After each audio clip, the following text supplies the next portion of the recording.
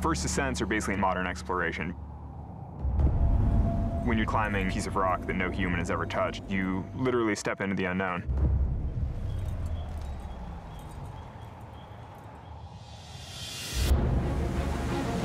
We're on an expedition into the glorious heart of South America. Oh, look, right there. Dr. Bruce Means is basically on a one-man mission to look for new species in this unique place in the world that scientists haven't really explored. But there's one final place he has never been able to get to to complete his work, high on the Tepui cliff walls themselves. So I called Alex Honnold, Good to see you. the single boldest climber in the world. A trip like this is something that I've always wanted to do in my life, but I think it'll be really scary.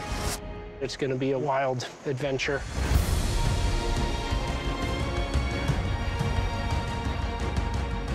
Tepuis are sort of islands in the sky. It's such an extreme place to get to. I was looking at the approach and thinking, how in the world are we going to get Bruce to the top? Thankfully, you brought a climber with you. This trip could be his magnum opus. The magnificence of nature. But the terrain is getting steeper and more complicated. Get it, Bruce? This looks dangerous. I'm all right.